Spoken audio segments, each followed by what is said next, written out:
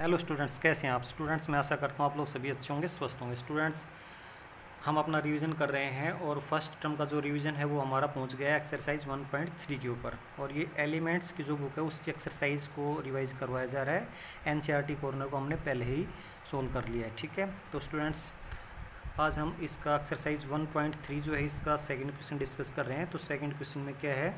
Identify the following numbers as rational और irrational number with justification तो ये जो आपको कुछ नंबर दिए गए हैं तो ये आपको पहचानने हैं कि वो रैशनल नंबर या इरेशनल नंबर है और उसका रीजन भी आपको साथ के साथ बताना है, ठीक है?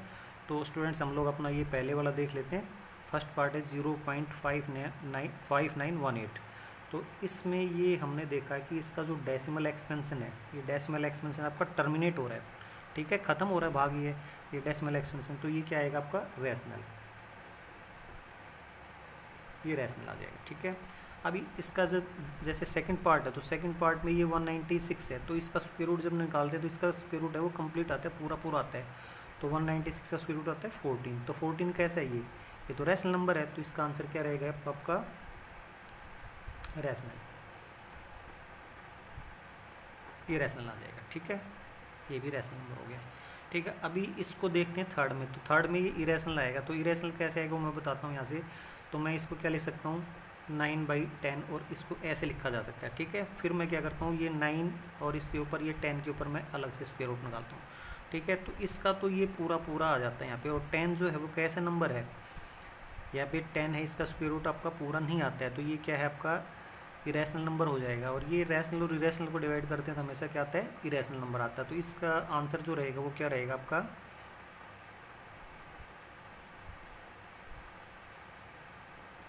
इरेशनल ये नंबर कैसा है? ये इरेशनल नंबर है, ये वाला। ये वाला नंबर है, zero square root, zero point nine है, ये इरेशनल नंबर है। ठीक है? तो स्टूडेंट्स, इसमें हमें देख लेना है क्योंकि इसका स्क्वेयर रूट तो हमें पता है कि थ्री आ गया और टेन है वो अंडरूट टेन है, क्योंकि इसका टेन है, इसका स्क्वेयर रूट पूरा पूरा नहीं आता है। यानी ये परफेक्ट स्क्वेयर नंबर नहीं है। टेन है, परफेक्ट स्क्वेयर नंबर नहीं है। इसका स्क्वेयर रूट निकालेंगे तो वो हमारा पूरा पूरा नहीं आएगा। यानी वो उसका जो डेसिमल एक्सपेंशन आएगा, वो non non terminating non repeating आएगा, ठीक है? तो वो हमारा इरेशनल नंबर हो जाएगा। तो ये रैशनल नंबर है और ये इरेशनल नंबर तो एक रैशनल नंबर और एक रैशनल नंबर ये डिवाइड करते हैं तो हमेशा क्या आएगा? ये इरेशनल नंबर आ जाएगा, ठीक है? तो इस तरह से हमारा ये आंसर आएगा इरेशनल नंबर अभी स्टूडेंट्स इसके बाद हम लोग इसको देख लेते हैं। तो इसमें इसको थोड़ा सा सोल्व करने के बाद ही हमें पता चल पाएगा। तो ये इसको सोल्व करते हैं तो हम लोग यहाँ से देखते हैं इसको। सॉरी ये है यहाँ से। तो मैं ट्वेल्व को क्या लिख सकता हूँ? यहाँ से इसको three multiply two multiply two ठीक है? दो दूनी चार चार के बारह हो गए। और नीचे मैं इसको क्या लिख सकता हूँ यहाँ से? ये इसको मैं लिख सकता हूँ five multiply five multiply three ये फाइव फाइव जो twenty five twenty five three जो सेवेंटी फाइव हो गए। अभी हम लोग इसका स्क्वेयर रूट निकालने की कोशिश करते हैं। यहाँ से देखिए टू है इसका पेयर बन गया, इसका फाइव का पेयर बन गया। तो मैं क्या कर सकता हूँ यहाँ से? ये पेयर है, इसमें से ये टू बाहर निकल गया तो ये अंडरूट थ्री आ गया। ठीक है? इसमें से इसका पेयर बन रहा है तो ये फाइव बाहर फाइव बाहर हो गया ये, और इसके बाद क्या होगा ये? ये थ्री इसके अंदर रह गया तो ये अंडरूट थ्री हो गया, ठीक है? तो अंडरूट थ्री से अंडरूट थ्री कैंसिल हो गया तो क्या हो गया ये? टू बाई फाइव और स्टूडेंट्स आपको क्लियरली पता है टू बाई फाइव को कैसा नंबर है ये? रैशनल है। ठीक है, ये रैशनल नंबर है। तो इस तरह से हम लोग अपना थोड़ा सा सोल्व करने के बाद इसको पता लगा सकते हैं कि रैशनल नंबर है या इरेशनल नंबर है। इसके बाद स्टूडेंट्स बिल्कुल इसी तरह से आपको ये करना है। तो ये ट्वेंटी एट है तो ट्वेंटी एट को हम कैसे लिख सकते हैं यहाँ से? तो ये टू मल्टीप्लाई, ठीक है? अभी ट्वेंटी एट के फैक्टर बनाने तो सीधे सीधे फैक्टर भी बना सकते हैं और सीधे सीधे अगर फैक्टर नहीं बनते तो वो अपना वैसे बना के देख लेना तो मैं वैसे कर देता हूँ, two into two multiply seven. देखो, टू टू ज़ा फोर फोर, सेवन ज़ा ट्वेंटी एट हो गए और इसी तरह से आपको ये, इसका थ्री, फोर, थ्री का बनाना है तो थ्री, फोर, थ्री का जब फैक्टर बनाएँगे, थ्री, फोर, थ्री के तो क्या आएगा? सॉरी, ये सेवन आएगा, सेवन मल्टीप्लाई सेवन और मल्टीप्लाई सेवन क्योंकि मुझे पता है कि ये जो सेवन का क्यूब होता है ये होता है तो सेवन को थ्री टाइम मल्टीप्लाई करना पड़ेगा। अभी उसी तरह से जैसे हमने इसमें यहाँ पे किया था, इसी तरह से इसमें करना पड़ेगा। टू है, यहाँ पे पेयर बन गया और सेवन का यहाँ पे पेयर बन गया। तो पेयर बन रहा है तो उसमें से एक बाहर निकाल देंगे तो ये टू आ गया और ये अनरूट सेवन आ गया। और इसमें से सेवन बाहर चला जाएगा सेवन तो सेवन अनरूट सेवन इस तरह से हम लोग कर सकते हैं तो फिर सेवन से सेवन कैंसिल हो गया। तो ये क्या आ गया टू बाई सेवन और आपको क्लियरली पता है कि टू बाई सेवन है, वो क्या है, वो रैशनल नंबर है। एक रैशनल नंबर है, ठीक है? टू बाई सेवन एक रैशनल नंबर हो गया। इस तरह से हम लोग ये वाला अपना पार्ट भी क्लियरली पता लगा सकते हैं।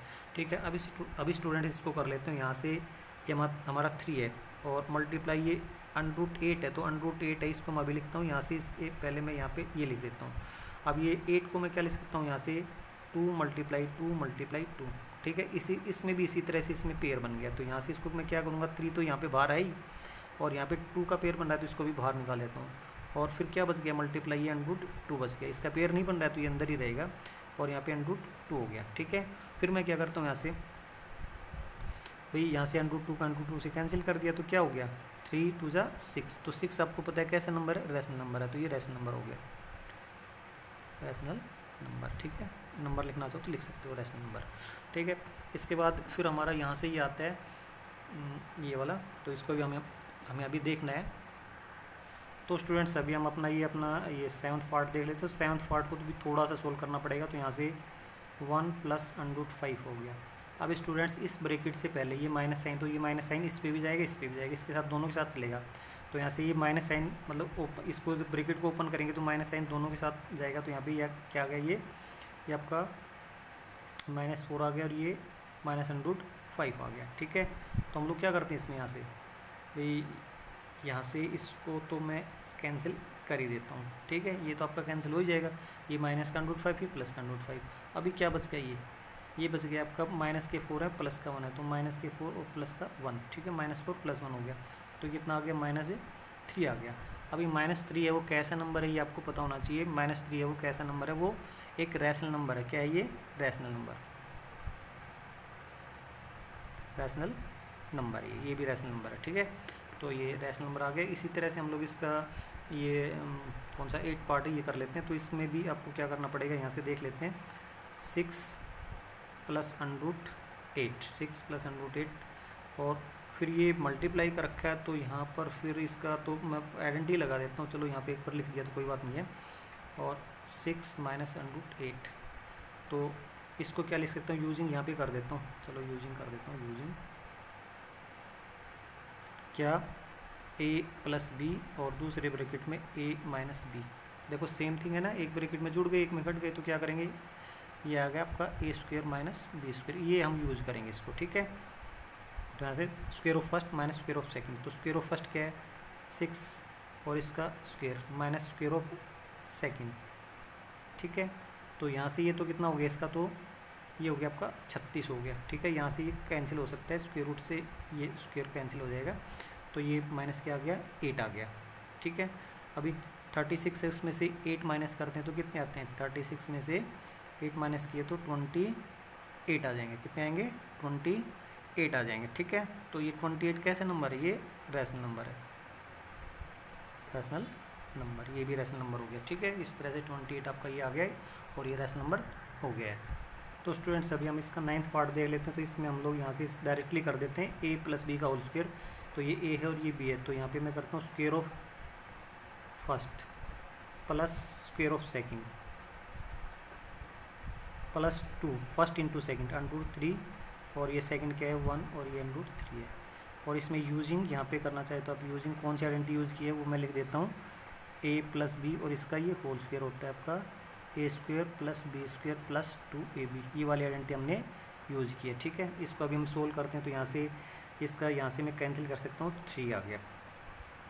प्लस अब ये स्क्वेयर इसके ऊपर जाएगा तो वन रहेगा और ये स्क्वेयर इसके साथ जाएगा तो ये थ्री बन जाएगा, ठीक है? प्लस टू और ये इसको मैं अंडरूट थ्री से अंडरूट थ्री को कैंसिल कर देता हूँ। प्लस टू हो गया, ठीक है? अब इसको सोल्व करते हैं तो सोल्व करते हैं तो यहाँ पे थ्री और टू हमने ऐड किया तो क्या आएगा? फाइव आ गया। और ये वन बाई थ्री और है ना five whole one by three आ जाएगा। इस तरह से five whole one by three को मैं क्या लिख सकता हूँ? सिक्सटीन बाई थ्री लिख सकता हूँ। तो सिक्सटीन बाई थ्री आपको क्लियरली पता है क्या है? ये रैशनल नंबर रैशनल ये भी रैशनल नंबर हो गया। इस तरह से आप लोग इसको कर सकते हैं। ठीक है? अब स्टूडेंट्स इसके बाद हमारा टेंथ पार्ट इसका आता है। तो टेंथ पार्ट में यहाँ से देखिए तीन डोट लगा रखे तो इसका मतलब क्या है ये? ये नॉन टर्मिनेटिंग नॉन टर्मिनेटिंग है। लेकिन हम देखते हैं कि अभी one two four one two हो रहा है। तो रिपीट हो रहा है ये। क्या हो रहा है ये? रिपीट हो रहा है। लेकिन टर्मिनेट नहीं हो रहा है। तो ऐसा डेसिमल एक्सपेंशन जो रिपीट हो और टर्मिनेट ना हो। जो रिपीट तो हो, लेकिन टर्मिनेट ना हो तो वो क्या होता है आपका? रैशनल नंबर ही होता है। तो इसमें हम आंसर के लिए क्या लिखेंगे? Rational rational number? ये भी रैशनल नंबर है, क्योंकि नॉन टर्मिनेटिंग बट रिपीटिंग है। नॉन टर्मिनेटिंग बट रिपीटिंग है। तो ये रैशनल नंबर होगा। अभी इसको देख लेते हैं। तो यहाँ पे ये ये थ्री डॉट लगा रखे हैं यहाँ से। तो इसका मतलब ये टर्मिनेट नहीं हो रहा है। और यहाँ से देखते हैं रिपीट होने का यहाँ पे पॉइंट के बाद ज़ीरो वन है, फिर ये डबल ज़ीरो वन आ गया, फिर ट्रिपल ज़ीरो वन आ गया, फिर फोर ज़ीरो वन आ गया। तो इस तरह से ये नॉन टर्मिनेटिंग नॉन रिपीटिंग है। टर्मिनेट भी नहीं हो रहा है, यानी ख़त्म भी नहीं हो रहा है और रिपीट भी नहीं हो रहा है। कभी कुछ आ रहा है, कभी कुछ आ रहा है ना तो ये कैसे, इसका आंसर क्या रहेगा आपका? ये आपका इरेशनल नंबर हो जाएगा। इरेशनल नंबर ये इरेशनल नंबर होगा, ठीक है? इसका जो डेसिमल एक्सपेंशन है नॉन टर्मिनेटिंग नॉन रिपीटिंग है। इसका जो डेसिमल एक्सपेंशन था वो not non terminating but repeating था। इसमें रिपीट हो रहा था तो ये इरेशनल आएगा, इसमें रिपीट भी नहीं हो रहा तो ये इरेशनल आ जाएगा। इस तरह से स्टूडेंट्स आप अपने ये सारे क्वेश्चंस कर सकते हैं। स्टूडेंट्स अभी हमारा होमवर्क का टाइम हो गया तो होमवर्क में आपको क्या करना है? रिवाइज एक्सरसाइज 1.3 एंड एमसीक्यूज़ और एमसीक्यू हैं, वो आपको होमवर्क के साथ साथ मिल जाएँगे। फ़ोटो इसकी मिलेगी, वो आपको एमसीक्यू अच्छी तरह से सोल्व करने, अच्छी तरह से समझना उनको। ठीक है स्टूडेंट्स थैंक यू स्टूडेंट्स